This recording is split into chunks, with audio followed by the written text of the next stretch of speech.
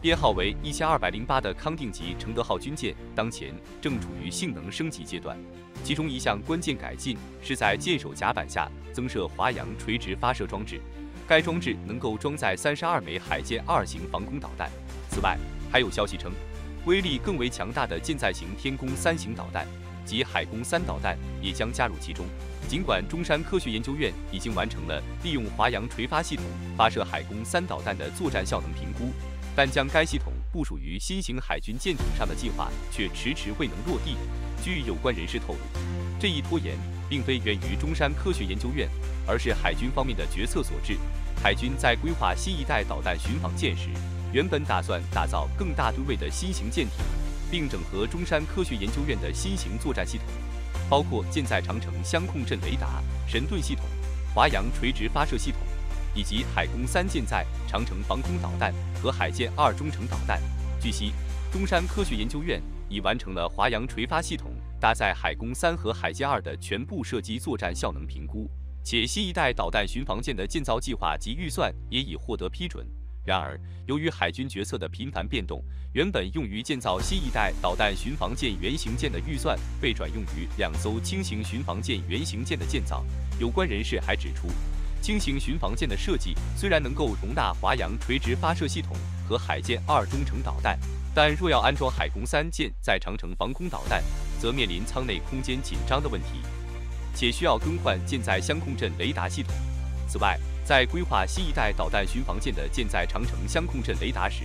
海军最初要求为被动式，但后来又改为主动式，并认为中山科学研究院研发的雷达体积过大、重量过重，无法安装于新型舰艇上，这导致中山科学研究院的研发工作遭遇挑战。尽管新一代导弹巡防舰原型舰的预算已转用于轻型巡防舰，但海军已重新审视了新一代导弹巡防舰的设计和作战需求，并计划继续推进该项目，同时将对相关指示进行调整。预计在两艘轻型巡防舰原型舰于二零二六年十月底交付后，将推出新一代导弹巡防舰的全新方案。另一方面，垂直发射系统采购计划被称为“海狼计划”，旨在引进美国的四十一克瓦查垂直发射系统。与此同时，中山科学研究院也在自主研发舰载垂直发射系统及华阳计划。该计划的设计理念与美国四十一克瓦查热发射垂直发射系统相似。中山科学研究院于二零一四年完成了该系统的研制，包括开发了能承受导弹发动机点火时高温高压的防火隔热材料。然而，在发射系统的排烟道设计以及处理导弹点火后无法升空，在发射管内持续燃烧的安全措施方面。中山科学研究院一直未能赢得台湾海军的信任，导致华阳计划的设计被暂时搁置。在这样的背景下，着手研发新一代训练与作战系统，并有意配备中山科学研究院研发的海攻三和海剑二防空导弹时，中山科学研究院通过商业途径引入了美国的四十一克瓦查垂直发射系统，并努力争取技术转让。在四十一克瓦查的技术转让流程中，中山科学研究院成功吸收了垂直发射系统的排气与消防技术，进而对原先的华阳计划进行了优化。至二零二零年，海剑二防空导弹的陆地测试验证工作已经圆满完成。测试过程中，分别采用了中山科学研究院自主研发的华阳垂直发射系统和倾斜发射箱两种发射模式。二零二一年四月七日。对海剑二和海攻三发射系统的技术是否源自向美国洛克希德马丁公司洛马集团的采购与逆向工程学习这一问题，中山科学研究院院长间接回应称，这并不涉及导弹技术部分。同年五月十日，联合报报道指出，中山科学研究院与海军明确表明，配套海剑二的垂直发射系统是中山科学研究院自主研发的，并强调在此领域已具备深厚的技术积累。并未获得美国的授权。二零二二年一月二十七日的报道显示，为了配合法国厂商主导的康定级舰艇升级项目，法方同意提供必要的技术支持，以修改中山科学研究院的垂直发射系统。此举旨在促进该系统与舰上法国作战系统的整合，并规避中山科学研究院所引进 Mk 四十一垂直发射器的知识产权问题。报道进一步指出。中山科学研究院华阳计划的垂直发射器，当时仅完成了陆地测试验证阶段，预计将在法方完成技术修改后，于二零二三年进行海上测试。并计划安装在高雄号测试舰上进行实际测试。二零二二年十月十四日，《自由时报》报道指出，中山科学研究院在开发华阳岸垂直发射系统过程中遭遇了多项技术挑战，但在法国厂商及专家的协助下，最终成功克服了这些难题。到了二零二三年八月二十三日，《自由时报》透露，海剑二和海攻三防空导弹结合华阳岸垂直发射系统，已在高雄号测试舰上成功完成作战效能评估，并将逐步部署于海军新一代巡防舰、新型大型舰艇以及正在进行升级的舰艇上。这表明，华阳岸垂直发射系统不仅与海剑二导弹适配，还能兼容体积更大的海攻三导弹。因此，中山科学研究院研发的华阳计划垂直发射系统将被应用于台湾新建舰艇和正在升级的康定级舰艇，从而减少对美国四十一克瓦查系统的依赖。在二零二三年九月中旬于台北举办的航太国防展上，中山科学研究院展示了海剑二防空导弹。这是一款海射型主动雷达制导的中程防空导弹，具备全天候、多目标、全方位垂直发射和快速机动能力。还配备了折叠翼增程加力器、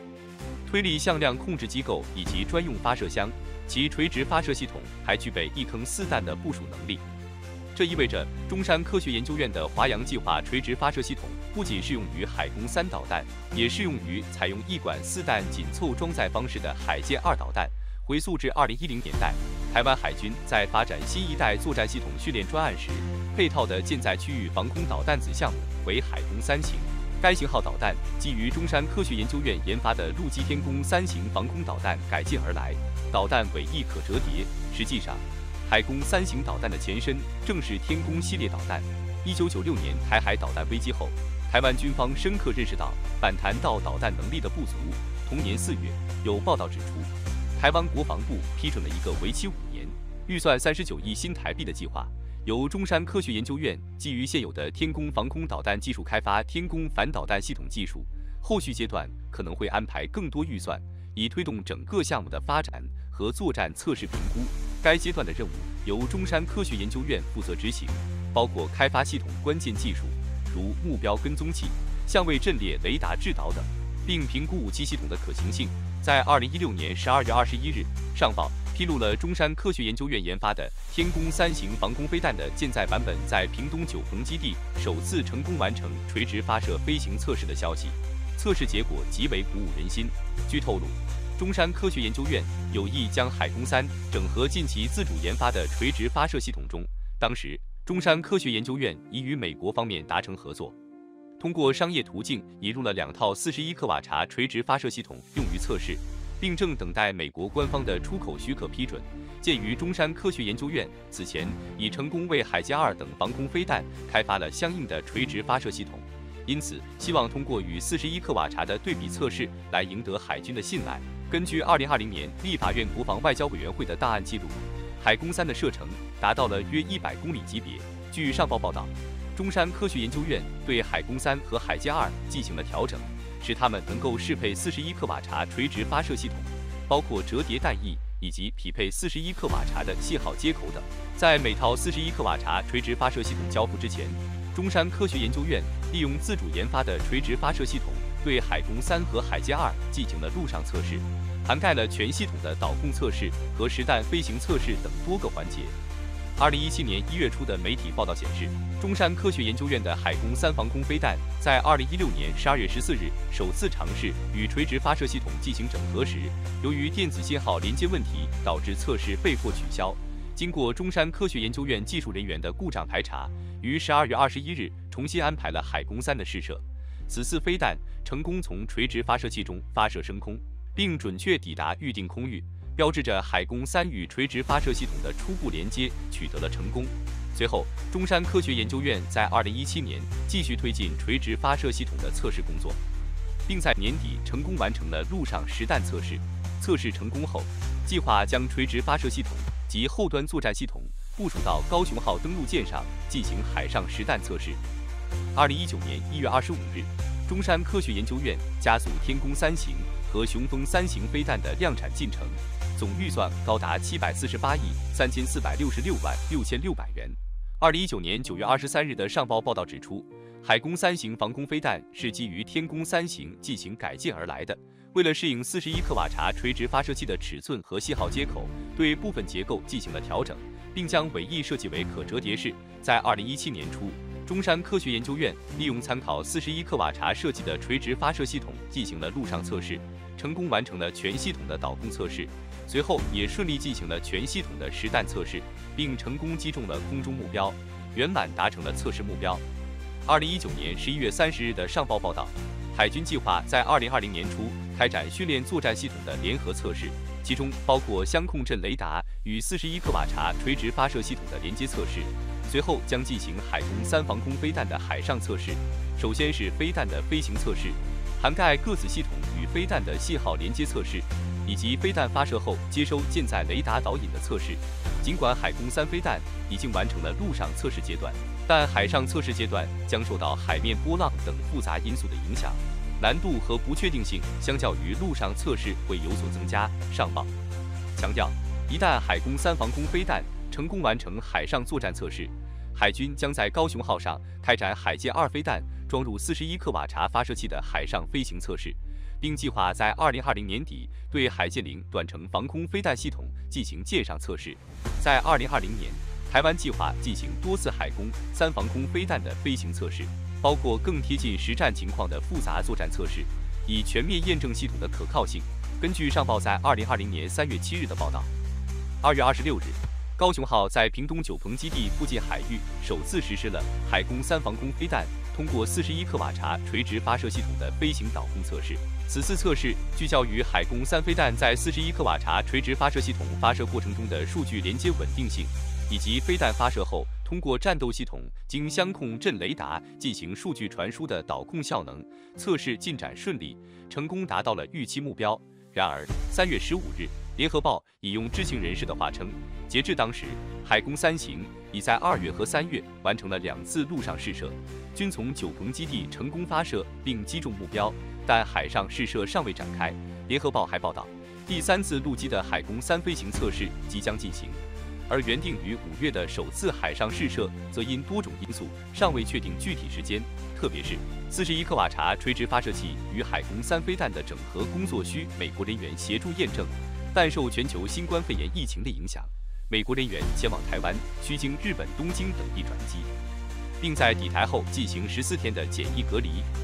这对试射进度造成了影响。据上报在二零二零年七月二十三日的报道。由于训练作战系统进度滞后，海攻三防空飞弹的作战测评进度也相应推迟。同时，海加尔防空飞弹与四十一克瓦查垂直发射系统的整合工作也因训练作战系统的延误而不断后延。八月二十五日的上报报道指出，中山科学研究院在八月中旬于屏东九鹏基地进行了海攻三舰载防空飞弹通过陆上四十一克瓦查垂直发射器的全系统实弹射击测试，但此时。高雄号登陆舰上的相控阵雷达训练作战系统与四十一克瓦查垂直发射器的信号整合仍存在问题。尽管系统成功锁定目标并发射飞弹，但飞弹在飞行的最后阶段偏离了目标，未能成功击中。经过检查，这次海攻三飞弹未命中目标的原因与海剑二十弹射击失败的情况相似，即飞弹在接近目标时引信未能正常启动。据上报报道。海攻三防空飞弹是中山科学研究院研发过程中最为顺利的战术飞弹之一，这得益于天宫飞弹项目科研人员的技术传承未曾中断、预算充足，以及飞弹弹体提供的较大空间，使得对模组与系统的修正相对简单，不会因空间限制而影响进度。在二零二零年十月十一日的上报报道中，海攻三在八月和九月分别进行了两次海上全实弹射击测评，均从高雄号成功发射。这两次射击分别针对低空和中高空目标。在八月底的第一次射击测试中，海攻三成功击落了低空目标，但在进行中高空目标射击时，飞弹偏离了目标。经过检查，发现问题出在引信上，而非防空飞弹或系统本身。在九月的第二次海上射击测试中，海攻三飞弹成功完成了低空及中高空拦截任务，直接命中了目标。这两次成功的测试，标志着海攻三与四十一克瓦查垂直发射系统在海上的整合射击测评初步完成。未来将继续进行其他项目的海上作战测评。根据上报的报道，得益于训练防空作战系统的初步成效，计划将在高雄舰上对海攻三进行进一步的作战射击测评。然而，由于训练作战系统项目的整体进度滞后，这也影响了整个项目的进度。因此，海攻三防空飞弹的量产计划目前尚未有明确规划。根据二零二零年十一月十二日上报的最新报道，屏东九鹏基地在进行海攻三与四十一克瓦查垂直发射器整合的陆上测试过程中，遭遇了一个前所未有的情况：海攻三防空飞弹在发射时，其推进器的火焰导致发射口周边出现了焦黑现象。这一现象引起了中山科学研究院的高度重视和紧张。幸运的是，经过美国技术人员的细致检查，确认四十一克瓦查发射器的结构安全，并未因此受到任何细微裂纹或损害，测试得以继续进行，并且在后续试射中，该现象未再重现。为了查明原因，中山科学研究院对出现问题的海攻三防空飞弹进行了深入的检查和资料比对。并据二零二零年十月二十一日上报的报道，在美国对台湾实施战略性高科技组件出口管制期间，中山科学研究院面临了获取关键高敏感性组件的难题，例如飞弹制造所需的陀螺仪、加速度计和电液四伏驱动器等组件，由于管制原因难以从美国顺利采购。为了应对这一挑战，中山科学研究院不得不转向其他渠道，寻找技术水平相对较低的替代零部件，其中。镭射陀螺仪就是从欧洲或俄罗斯等地采购的替代产品之一。台军现役的多种自制武器装备中，就包含了这些来自俄罗斯的镭射陀螺仪。幸运的是，自2018年美国对台解除武器禁运以来，中山科学研究院得以重新获得更高性能、更稳定的美制高级军用组件。这一转变对于提升台湾自制武器系统的性能具有重要意义。好了。本期内容到此结束。对于这些信息，我们非常欢迎大家在评论区分享你们的看法和讨论。如果对于内容有任何补充或不尽完善之处，也请在评论区留言，以便我们进行更新和完善。我是环宇哥，咱们下期再见。